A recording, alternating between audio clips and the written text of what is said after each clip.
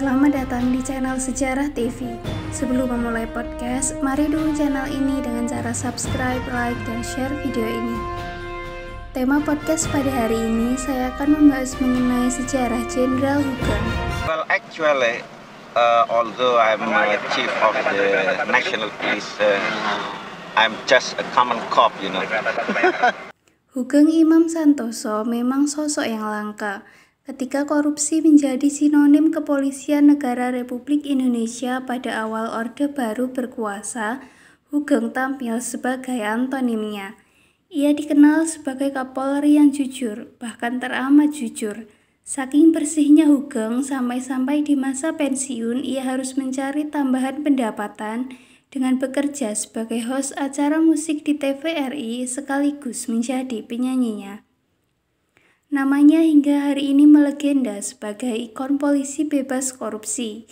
Pada saat menjabat sebagai Kapolri, ia tidak mempan sogokan sebesar apa pun.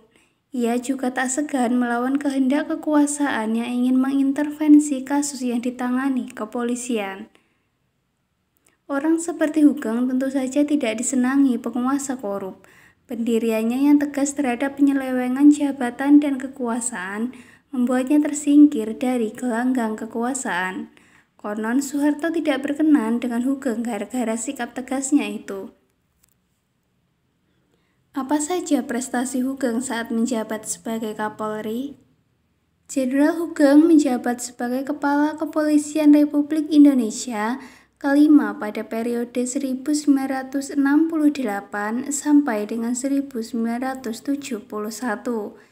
Meskipun hanya menjabat tiga tahun sebagai Kapolri, namun Hugeng membawa perubahan besar dalam tubuh kepolisian Republik Indonesia. Dengan karakter tegasnya, ia mampu menumpas beberapa kasus kejahatan besar. Pertama, ia berhasil mengusut kasus penyelundupan mobil mewah.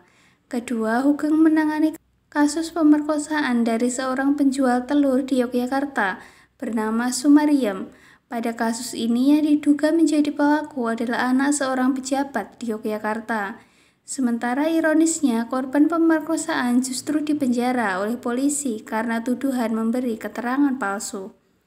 Melihat hal itu, ia langsung membentuk tim khusus bernama Tim Pemeriksa Sum Kuning yang dibentuk pada bulan Januari 1971. Hugeng bersikeras melanjutkan kasus ini, namun sebaliknya Soeharto memerintahkan dirinya agar tidak ikut campur dalam kasusnya, dan kasus itu diambil alih oleh tim pemeriksa pusat atau Komkamtib. Hugeng pun kehilangan jejak kasus ini setelahnya.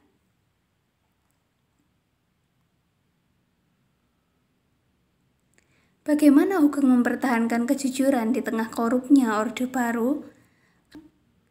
Kapolri Hugeng pun pernah merasakan godaan suap.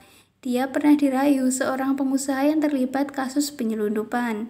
Pengusaha itu meminta Hugeng agar kasus yang dihadapinya tak dilanjutkan ke pengadilan. Jenderal Hugeng sangat gencar memerangi penyelundupan. Dia tidak peduli siapa backing penyelundup tersebut, semua pasti disikatnya. Pengusaha tersebut berusaha mengajak damai Hugeng. Berbagai hadiah mewah dikirim ke alamat Hugeng. Tentu saja Hugeng menolak mentah-mentah. Hadiah ini langsung dikembalikan oleh Hugeng. Selanjutnya, pada saat mendapat perintah pindah tugas ke Sumatera Utara tahun 1955, Hugeng mendapat tugas berat untuk memberantas penyelundupan dan perjudian di daerah tersebut. Ironisnya, baru saja Hugeng mendarat di Pelabuhan Belawan, utusan seorang bandar judi sudah mendekatinya. Utusan itu menyampaikan selamat datang untuk Hugeng. Tak lupa dia juga mengatakan sudah ada mobil dan rumah untuk Hugeng hadiah dari para pengusaha. Hugeng menolak dengan halus. Dia memilih tinggal di Hotel Debur menunggu sampai rumah dinasnya tersedia.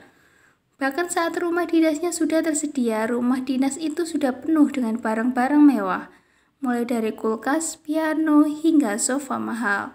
Ternyata barang itu lagi-lagi hadiah dari para bandar judi. Hugeng pun segera memerintahkan polisi dan para kuli angkut mengeluarkan barang-barang itu dari rumahnya. Barang-barang tersebut diletakkan begitu saja di depan rumah.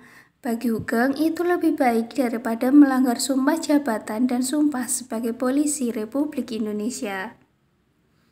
Maka dari itu dapat disimpulkan bahwa Hugeng telah membuktikan dirinya memang tidak bisa dibeli. Sejak menjadi perwira polisi di Sumatera Utara, Hugeng terkenal karena keberanian dan kejujurannya. Dia tak sudi menerima suap sepeser pun. Kata-kata mutiara yang terkenal dari Hugeng adalah baik menjadi orang penting, tapi lebih penting menjadi orang baik. Demikian penjelasan mengenai sejarah Kapolri Hugeng. Apabila ada pertanyaan dapat ditanyakan di kolom komentar.